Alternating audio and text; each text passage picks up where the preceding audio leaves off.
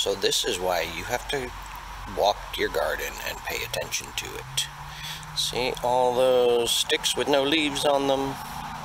That is probably a tomato hornworm. And I got to find it. Yep. Right there. One worm, one night. You, sir, are about to have a very bad morning.